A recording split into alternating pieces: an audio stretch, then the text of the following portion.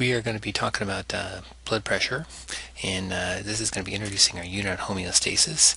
And the reason why we are uh, talking about homeostasis and blood pressure is because it provides a great example uh, of what combining what you already know with what we want you to learn from this course. And uh, so there'll be some stuff you already know, uh, and then some stuff we're going to learn. And we're going to show you some levels of detail that you may not understand initially here, um, but as the school year goes on, um, and you get different experiences, you should be able to put this all together. So this is kind of an introduction uh, and a preview.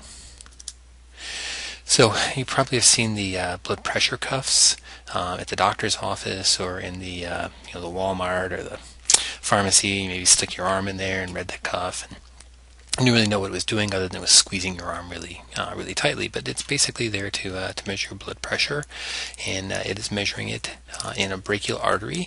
And uh, basically, what it's doing is it's squeezing the blood from the uh, artery. It's compressing the artery, and then it releases the artery, and it's going to be making some noise that you can see right here and that noise is what we actually measuring on the, or that we can hear through the um, stethoscope, and that is what we're measuring for uh, our testing of your blood pressure. So that's what you do, and you can see here that we are only able to measure the um, blood pressure in the arteries. There is no measurable blood pressure in veins uh, and there is a little blood pressure in capillaries, but capillaries are so distributed we can't find them anywhere. So the only place we can actually measure, actually measure your blood pressure is in your arteries. Now, we're talking about homeostasis, and we're going to come up with this phrase uh, called homeostatic control mechanisms. And uh, basically, this is going to allow us to control uh, any particular homeostatic variable. In the case we're talking about today, it is um, blood pressure and it's important to keep blood pressure normal uh, or near normal. Uh, we do not want to be uh, imbalanced, either too low or too high. Both of those would be abnormal. And you can see here that uh, there are going to be some stimuli that are going to cause a change. Um, you may feel a change in blood pressure uh, if you get really nervous or scared about something. And uh, um, that can cause a change in your blood pressure. And that's a stimulus and then you're going to have receptors that are going to uh, detect that change and then they are going to send that information to the integrating or control center. In most cases that control center is going to be the brain or some particular part of the brain. And then the brain or that control center is going to respond and they're going to respond in a way which is going to cause the blood vessels or the uh, um, that change to go move in the opposite direction. So it's kind of like a teeter-totter, you know, uh, seesaw, and we're trying to keep the seesaw like this, but we can never always keep it like this. So sometimes it's going to be down, sometimes it's going to be up, but homeostatic control systems are going to try and through the systems that we have, keep it at a uh, as close to level as possible. So homeostasis and blood pressure and it's pretty simple from the beginning. Uh, blood pressure is simply a uh, uh, measure of the diameter of the blood vessel and the volume of the blood. Those are the two factors that are going to affect blood pressure. So from the beginning, it's pretty simple. It's just that we're going to add a whole lot of elements to it. But when we do talking about blood pressure, we're simply talking about two basic physics properties. The diameter of the tube, the larger the tube is, the lower the blood pressure, and the volume. The greater the volume of blood there is uh, pushing against it, the higher the blood pressure is going to be. The lower the volume, the lower the blood pressure. Right? So if the blood pressure is out of balance, um, like we saw on the last screen there, uh, if it's low, then we have something called hypotension, and if it's high, we have something called hypertension. Now the difference between hypo, which is the uh, uh, the low one and hyper, which is the high one, is hypo is immediately life-threatening.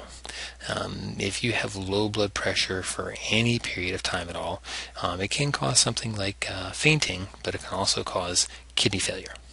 Um, a primary contributor to hypotension is dehydration, which in the summer times in Georgia we get all the time, and uh, it is uh, something that is immediately life-threatening. So if you go um, and see somebody who gets shot, um, they're going to be losing lots of blood. Their blood volume is going to be dropping. As a result of that, their blood pressure is going to be dropping. They're going to fall into hypotension. So um, emergency responders are first and foremost um, worried about your blood pressure when they uh, come upon a scene of somebody who is uh, unconscious. Do they have any blood pressure? The second thing, you know, do they, obviously, do they have a, they have a heart rate?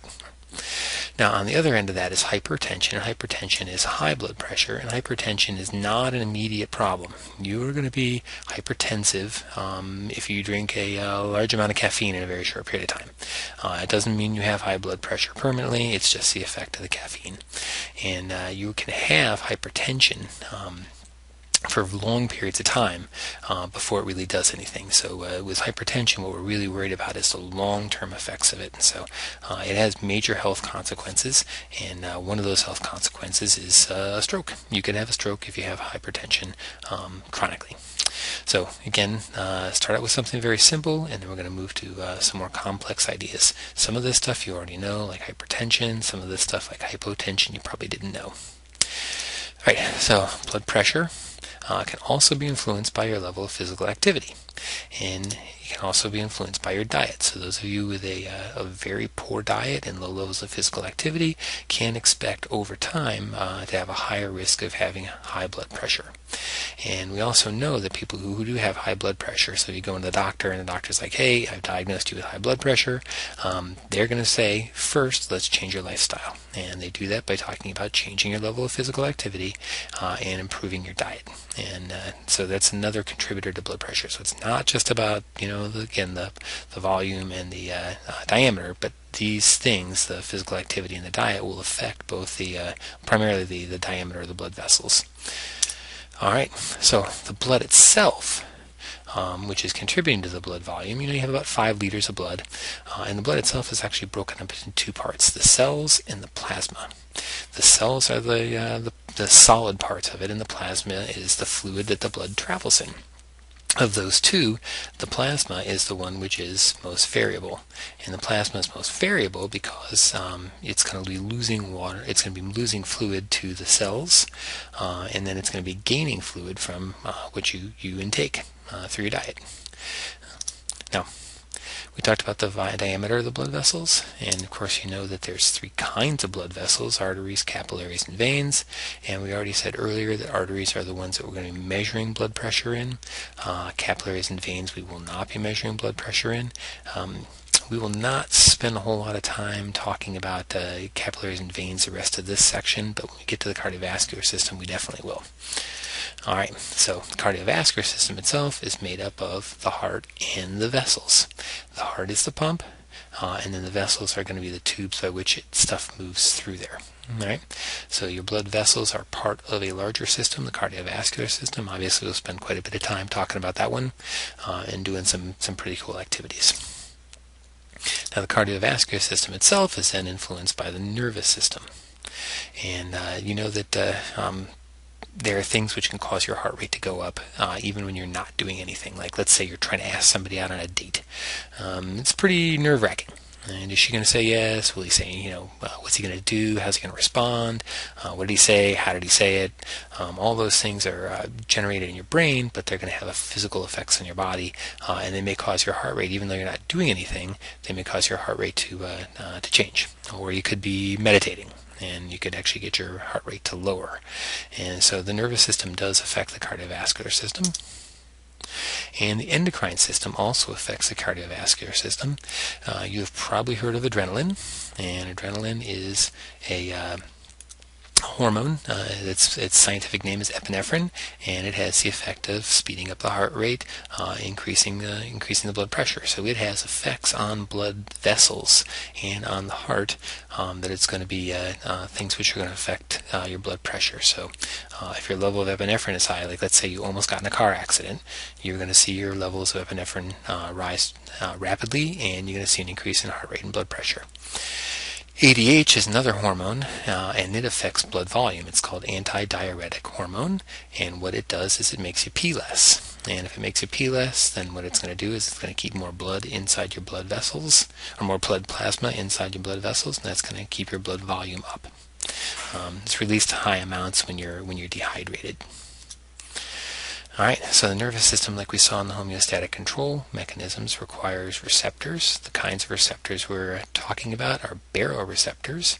Uh, if you are looking at your body, um, you're feeling along your neck right here, you're going to see baroreceptors uh, that are going to be pressure receptors in your uh, carotid arteries. Right here, and they are going to be uh, um, responding to changes in pressure. So as the changes in pressure increase, uh, they're going to generate a nervous system signal. If they decrease, uh, then they're also going to generate a signal um, in a different direction that's going to tell the uh, the brain, uh, and will cause a different response by the brain to affect the cardiovascular system, to affect the blood pressure, uh, to change the signal that's coming from the receptors.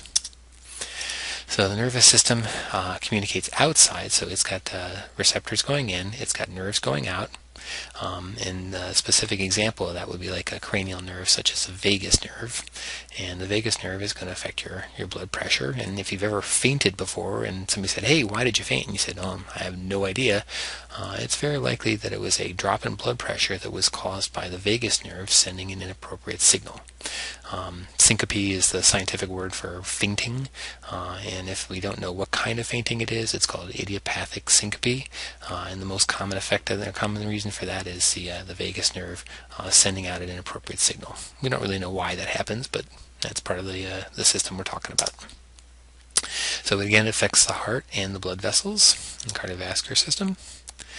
So head back here. We've already talked about these guys and the endocrine system and talked about the ADH earlier, uh, is uh, going to be released and it's going to travel to the kidneys. It's going to keep the kidneys from uh, uh, absorbing some of the fluid that's found in the blood, uh, and it's going to return it uh, the fluid back to the blood, more fluid back to the blood. So it's going to maintain your blood volume. So again, if you're dehydrated, um, then ADH is going to be released in large amounts. Your urine volume is going to be lower as a result of that, and your blood pressure will be, your blood volume will be maintained because you're going to lose less plasma.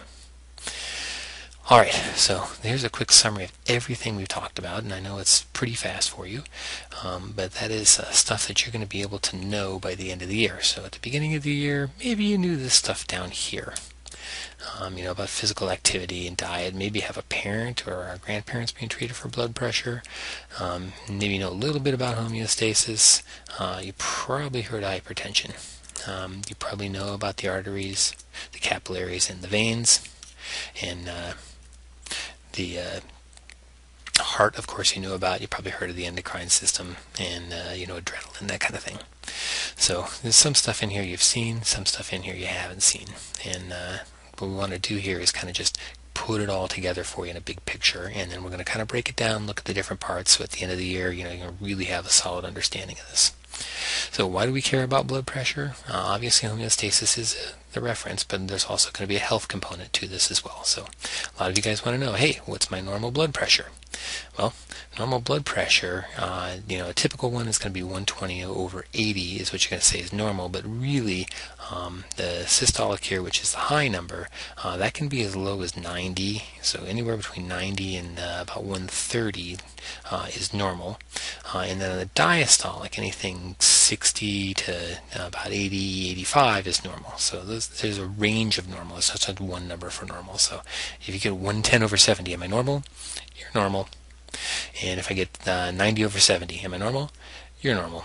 So it's not just 120 over 80. Um, now, you can be hypertensive. Um, if you're starting to creep towards the one upper 130s uh, or at uh, around you know eight, above 85 uh, 90 uh, and then if we measure you constantly you're 140 over 90 and I have had high school seniors who have measured 140 over 90 and we've had high school freshmen that we've measured over uh, that have high blood pressure. And this is not something that is uh, unusual for older people um, but it is unusual for younger people. But if you do have hypertension when you're young that's going to be something you want to to talk to your doctor about.